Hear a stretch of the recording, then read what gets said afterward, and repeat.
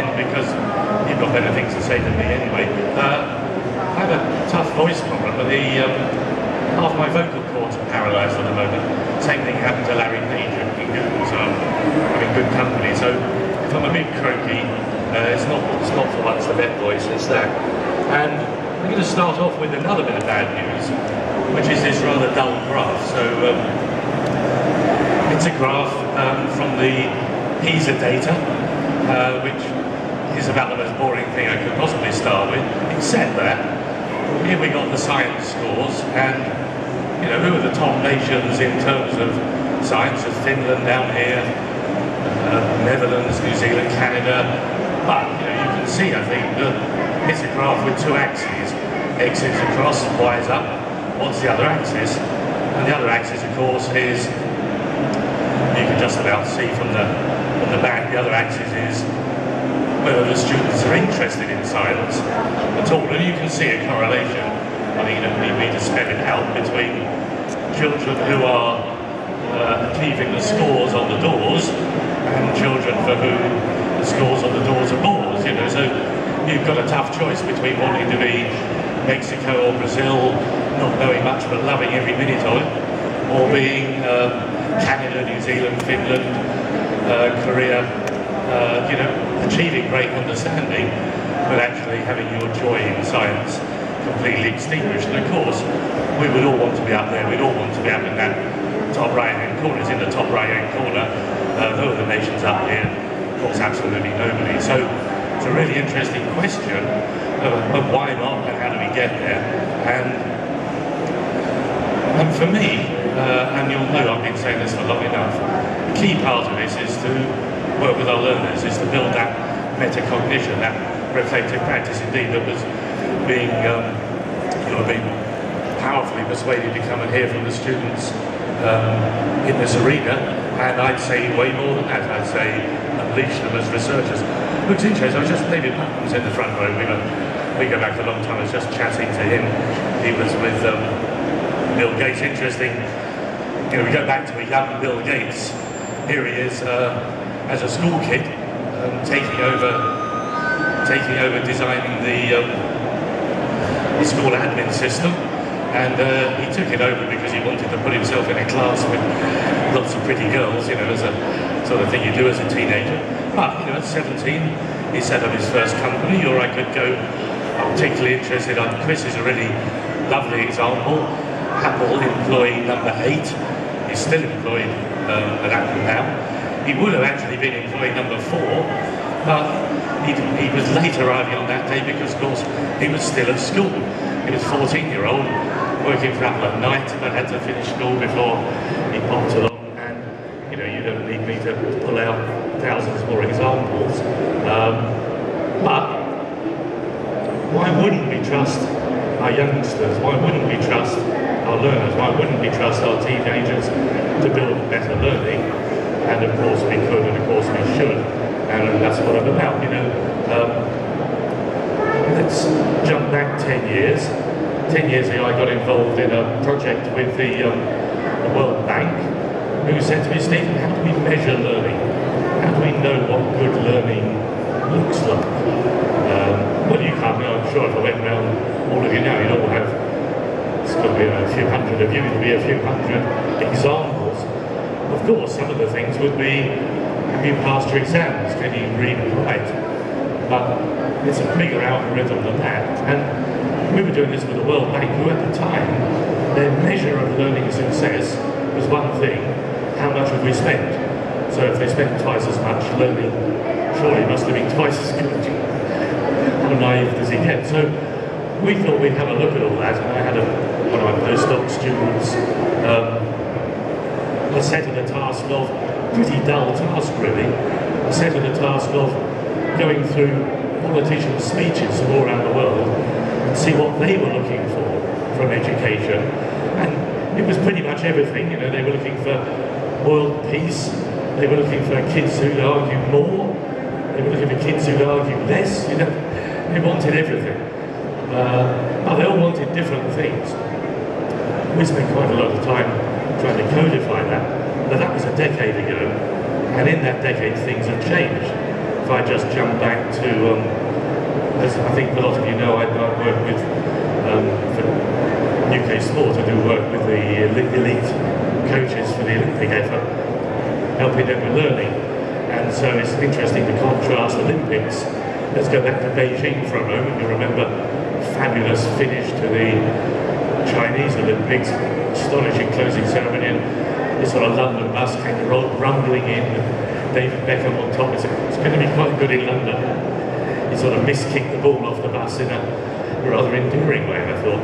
But if you look at the audience, of course, everybody in the everybody in the audience has got a digital camera, and they're all capturing their their still images. Well, if I just jump on to, of course, this this time round, I was lucky enough to be in the stadium. This is um, this is Bolt. He's just won his gold medal for 200 metres. The stadium's you know in tumult, and four years later, as you can see, everybody in the audience is holding up their phone and shooting video. So in four years we've gone from dedicated still camera to actually the thing in my pocket does everything I need in shooting video.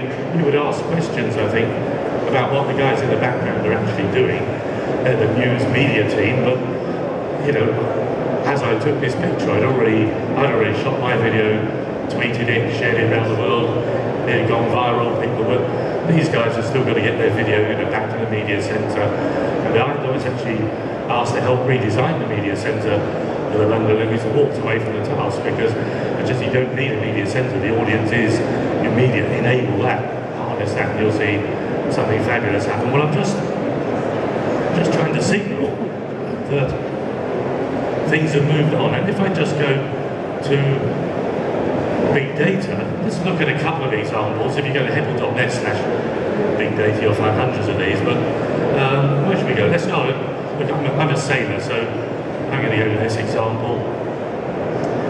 Here's a, here's a, this is a live map of the world.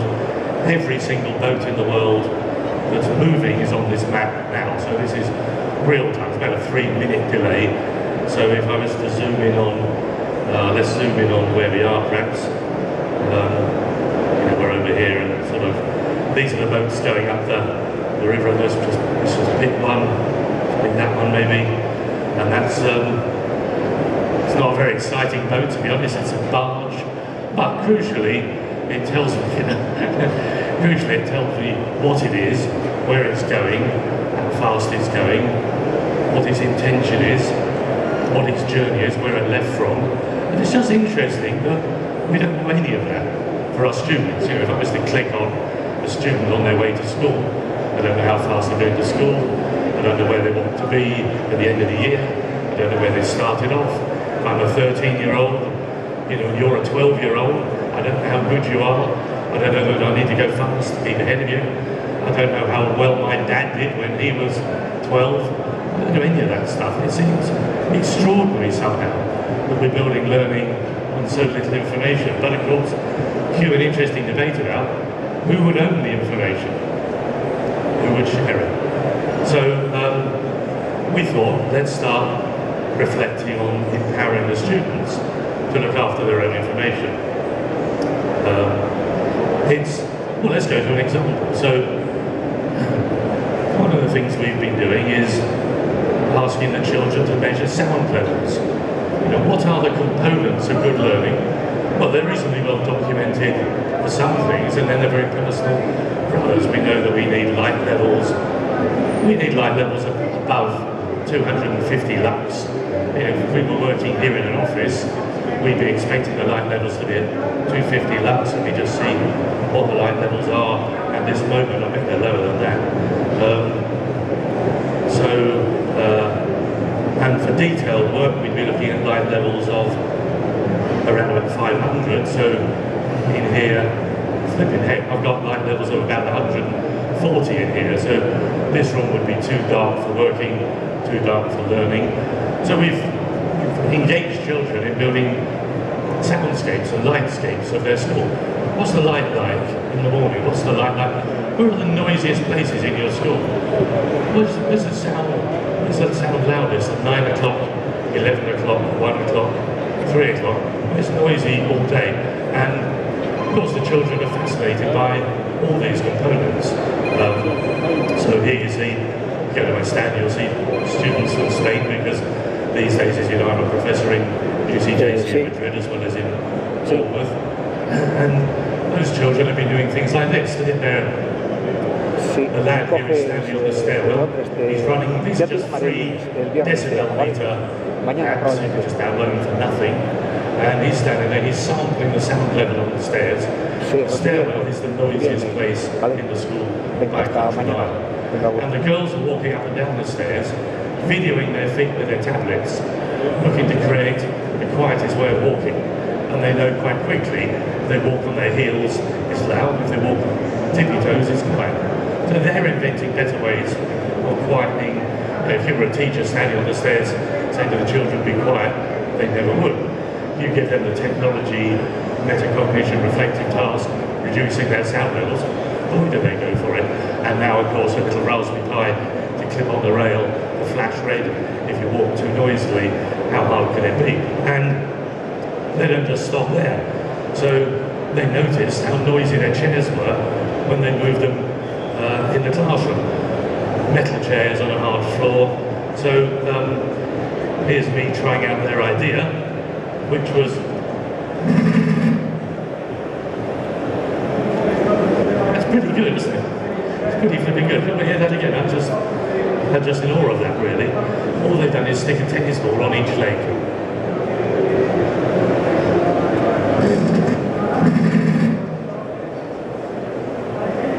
So kids love this stuff, you can imagine. Saying to the kids, here's your school, here's your learning, sort it out. Um, and they're pretty much unstoppable. So uh, what we've got going on in the stand at the moment, we've got kids who are measuring the light levels in their schools with their lux meter. You know, they're bashing their data all over the tables. Of course, as you know, one of the things that's been transformed in our classrooms has been the furniture. Isn't it interesting? Who would have anticipated that telephones would transform our furniture? You know, kids love to write on surfaces, they love to write on walls, they love to write on desks.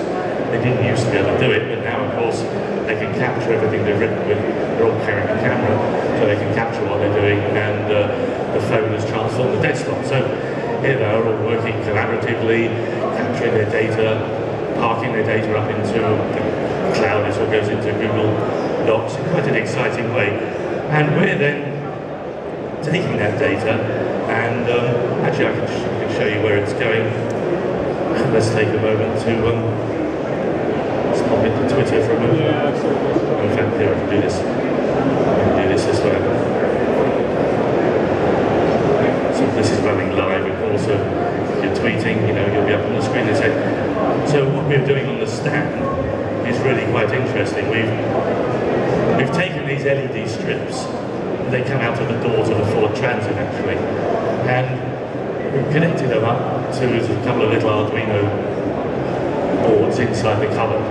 And the kids are capturing their data of their learning, parking it up in a Google Doc, uh, in a spreadsheet, and we're, we're exploring their algorithm of learning, which turns out to be really interesting. So, and they'll be asking some of you as walk around what you what your variables would be. And some of the variables people. So if you were measuring great learning, you measure the light levels, you measure the sound levels, you measure the temperature, you measure the exam results, you measure all that of course. But what else would you measure? People are suggesting you would measure how fast you come to school. I've got a phone just like the ships and knows how fast I'm going. Uh, so why don't I interrogate that? Interesting hypothesis. If your learning was great, would your children be running to school? Uh, we can measure their faces as they come through the gate. Uh, why wouldn't I just capture their faces? Maggie's smiling down here in the second row. If all the children are smiling when they arrive at school, my hypothesis might be that's good learning. Or maybe if they're smiling when they go home. Or maybe I'm interested in how late they stay at school. And then we're giving them a set of little semantic scales, little sliders, where they can make the judgment about, you know what, I'm not really enjoying this. Uh, I'm not stretched enough. It's not ambitious enough for me. Uh, I'm bored. And they're adjusting those little sliders. So as a teacher, these LED strips on the back of your classroom, this is only prototype stuff, but it's indicative, I think, of where we might go with big data. As a teacher, I'm seeing the aggregates of my class. I'm sitting looking at the ball and thinking, hang on a minute, it's all going a bit red. You know, um, I, don't, I don't know why. I'm going to have to. I'm going to have to start a conversation with the students. I'm going to have to say to my my researchers, what's happening? Our algorithm says that learning's going down. And one of them might say, well, actually, Chief, look, it's the light. You turn the blasting projector on, you put the blinds down, we're all sitting in the dark, it's hateful. Or they might say, actually, Chief, we did all this last year, but doing it again is, is a bit of a, it's not much of a stretch, you know. So you force that dialogue of, of metacognition, you force that dialogue of reflective practice on the kids from their data. We're also building a little badge so the kids can look at their own data and say, hang on, so as a teacher you might look around the class and say, this lot over here, their badges have gone red, something going wrong for them, everybody else seems to be going well. It's really, really interesting, this sense of what makes good learning and how granular it can be, and of course fundamentally about who owns it and what they're going to do with it to improve their own learning. And we know how powerful that can be uh, from the peer support stuff. This is, I've got schools around the world I'm working, as you know, these schools, so this is a wonderful Portland Academy down in